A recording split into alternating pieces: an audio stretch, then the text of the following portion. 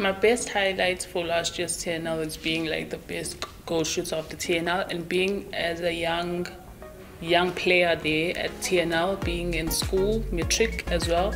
It was like difficult for me to manage school and TNL at the same time and then being the best goal shooter while writing my exams at TNL was so exciting for me. So I think for this season I'll bring more more shots in more being confident, being more strong, being strong for my team, gelling with my team because this is the first time playing for Fireballs. So I'll say this this season will be so exciting. We're coming in strong this year.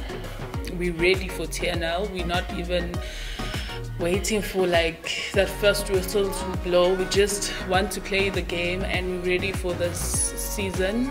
The important life skill netball taught me is to look at life like different, not only to focus on netball, but focus on other things.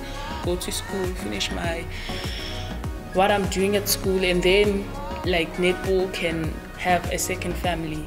Like your team can be your family, it can be your friends, it can be your sisters, it can be your moms. So it taught me like family is very important to you.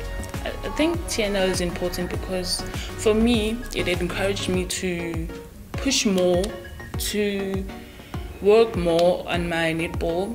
It encourages more kids from where I stay or wherever they stay to work hard, go to school. I use this quote every day. I'll say, never let the fear of fighting stop you from playing the game. So, what that means is, even if it's on court and you're fighting, but don't let that fear of you stop you from fighting and carrying on winning for your team. So that's what I can say.